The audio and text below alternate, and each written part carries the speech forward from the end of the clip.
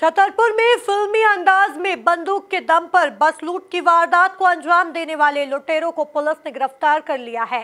Bike की किश्त चुकाने के लिए आरोपी ने बस की लूट की घटना को अंजाम दिया।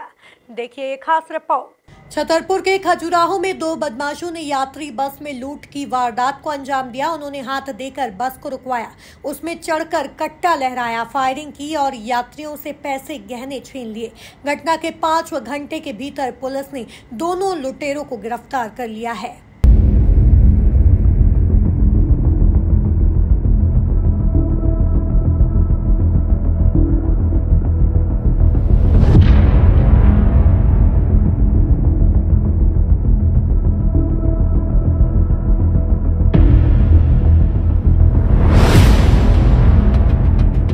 वारदात शुक्रवार सुबह करीब सवा सात बजे राजनगर थाना क्षेत्र में कुटने डैम के पास की है।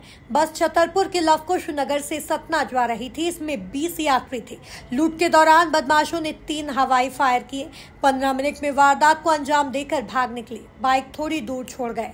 पुलिस ने महज पाँच घंटे के भीतर आरोपियों को गिरफ़्तार कर लिया। एसपी अगम जैन ने जानकारी देते हुए बताया कि आरोपियों ने बाइक की किश्त भरने के लिए बस को लूटा था।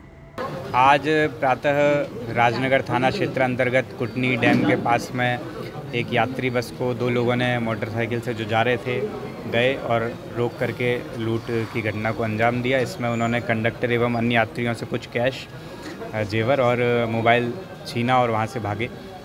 इस घटना के बाद में हमारी टीम तत्काल ही एक्टिव हुई और हमारे जो खजुराहो एस के अंडर राजनगर, खजुराहो थाना प्रभारी के एल दाहिया, संजय सिंह, शिव कुमार, शत्रुघ्न, अलकेश, इन सभी ने मिलकर के एक टीम के तौर पर काम किया और दो घंटे में ही ये ट्रेस कर लिया कि किन्होंने इस घटना को अंजाम दिया है।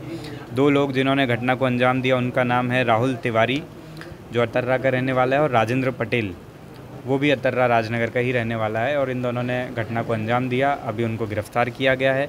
आने वाले समय में उन्होंने जो घटना में मोटरसाइकिल और कट्टा प्रयोग में लाए हैं, उसको एवं जो लूटी हुई सामग्री है सबको जब्त किया जाएगा और अग्रिम कार्रवाई की जाएगी।